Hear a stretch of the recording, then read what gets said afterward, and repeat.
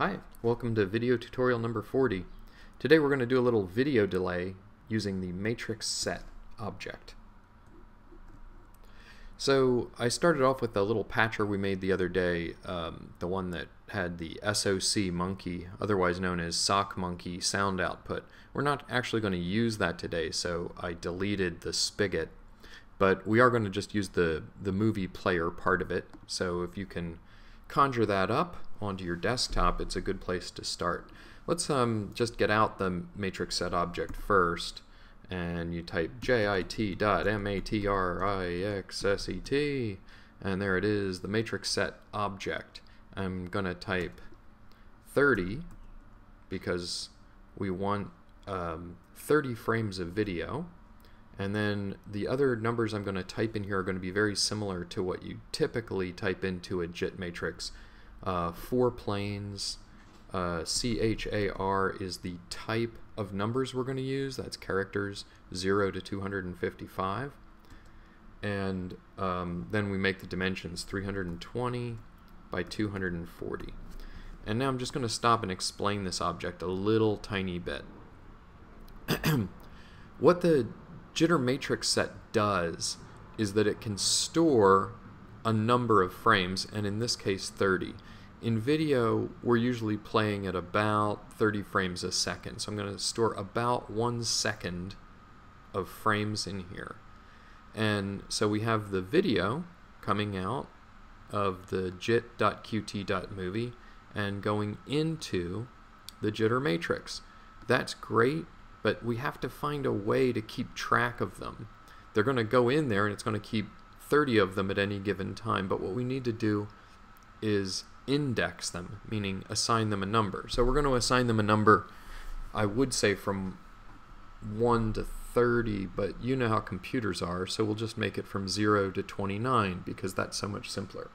So um, in order to do that, we'll need a counter object, so just get a new object there and type in counter. And we're going to be counterintuitive with our counter and count backwards today. So we're going to type a 1 in there. And then we're going to have it go from 0 to 29. That's your max and minimum numbers. And let's move that up to the top because we always seem to run out of space here. Okay. Um, the counter is going to count from 0 to 29 and um, index the frames that are coming in. In order to get it to do that, we have to bang the counter every time a frame comes out of the JIT-QT movie. So let's make a trigger object. Just type the letter T, or you can type in trigger. It can also just be T. And then type the letter space, and then type B. Now every anytime something triggers this, it's going to send out a bang. Okay? And it's going to bang the counter. Now we just put a line from the movie up to the trigger.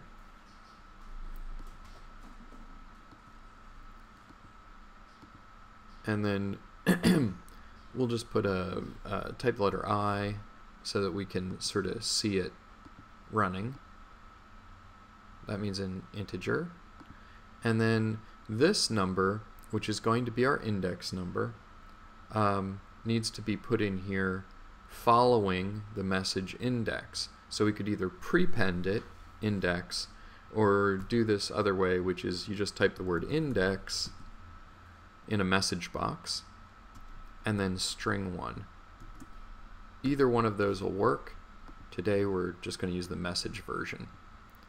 Okay, so index 0 comes out of there. It's going to be index 0, and then it'll store that um, jitter matrix in there as 0. And then it, it, will run around 0 all the way up to 29, and it'll start over at 0, and that will replace it. So at any given time, we will have 30 frames of video in here um, kind of chasing its tail around in a circle. And then we're going to want to output it. And in order to output it, we're going to use a different message, which is type the letter M and say output matrix, yes. Output matrix indeed. And then we're also going to make that string 1. Again, we could have done prepend output matrix, but who needs to be so complicated? Okay, now here's the tricky part. Now we need a counter. now we need a counter that runs the output matrix. We're inputting these things, but it's not going to put any video out. Here, we'll make it its own video window real quick here. Little option, click on that window, drag it over there. Okay. So we can just use this counter to output this, but what we want to do is um, be running a different number. So when this one's running 0, if we want to have a delay of one frame, we'll want this one to be 1. And if we want a delay of 15 frames, we'll want this one to be 15.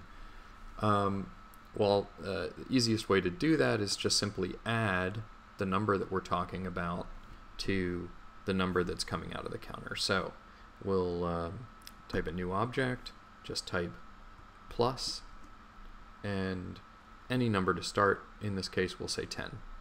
That's a it's a delay that you'll at least see, so you'll know what your effect is doing when it comes out of there. Now, of course, if this thing counts to 29 and then adds 10 to it, that's not going to work real well for us. So we're going to use that awesome tool, the modulo, which is the percent sign, and we're going to keep it down to 30 frames. So now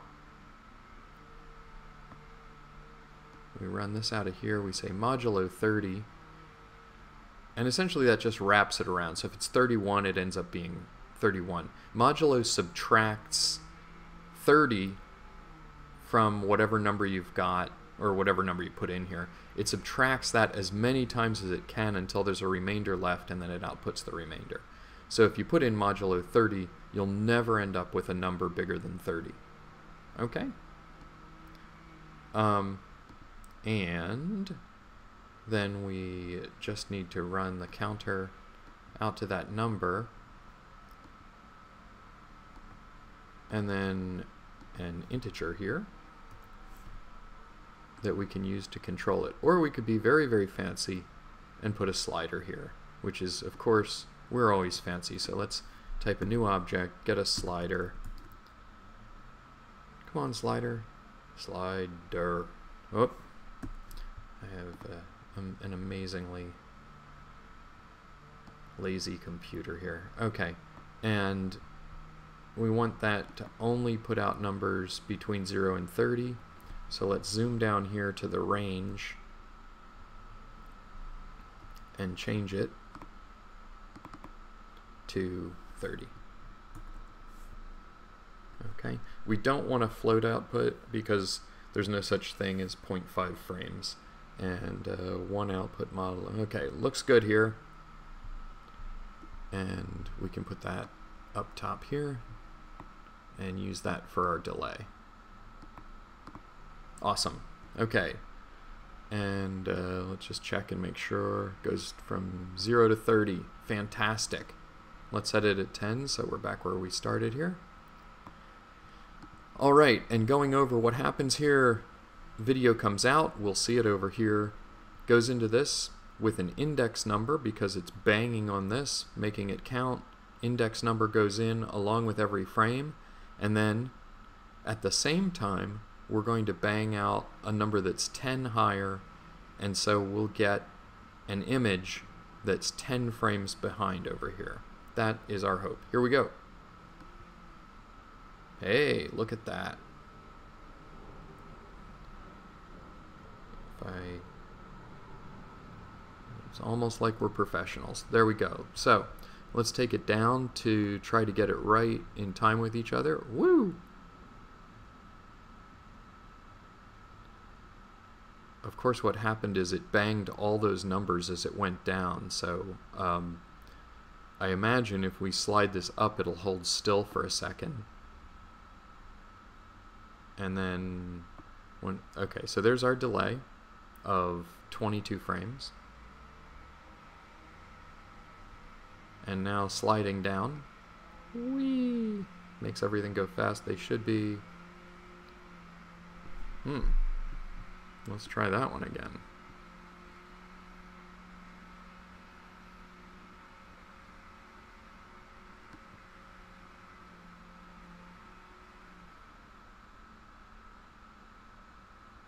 I think what we're working with here is partially we're, we're, we're talking about video delay and uh, partially um, my computer is not able to keep up with it. Uh, I'm supposed to get my computer back from the shop today.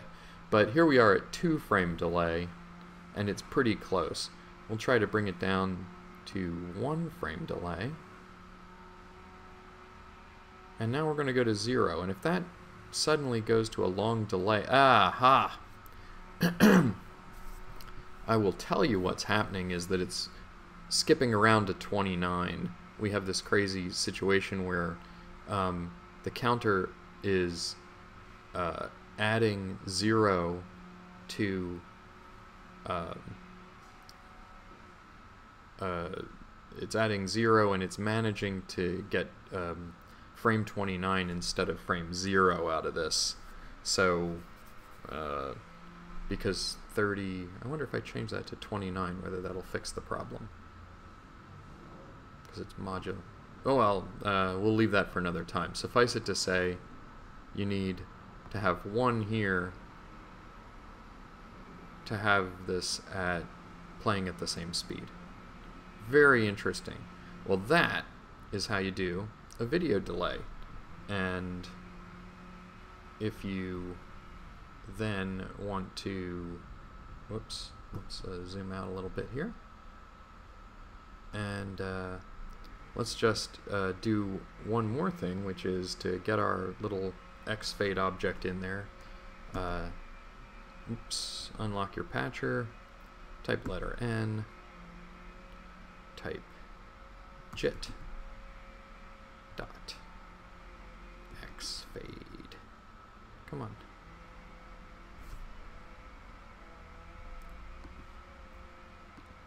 And that's how you'll be able to less of our processor and uh, give us more room for our X-Fade device.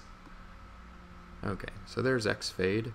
Now we can take this movie's output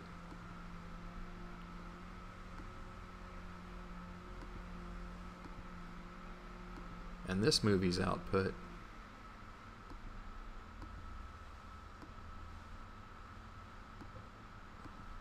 and control them. We'll need another slider.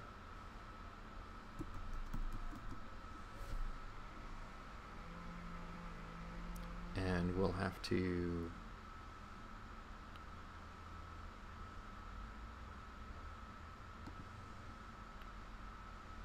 go over to the inspector and change its range to 1 or 1.0 as we like to use because and then we do want to float the output on this slider because when you have a 0 to 1 hey didn't I just change that to a 1 isn't that amazing how how there we go Okay. Better. Alright. So now we're going to get a anything between 0 and 1 for X fade. And we can put this slider over here. Well, let's put it there. Where, and um, we want to, oh, we'll use the prepend this time. Another new object. Prepend.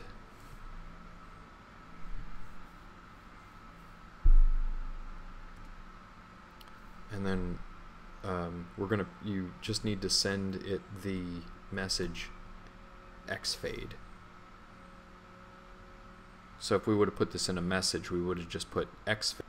Particularly when I'm dealing with floats I like to use prepend. I feel more safe. I'm not actually even sure that the message would handle it. Okay and then we'll take one of these patcher windows and I wonder how many I just made there. Okay and we'll make it big so that we can see our overall effect there.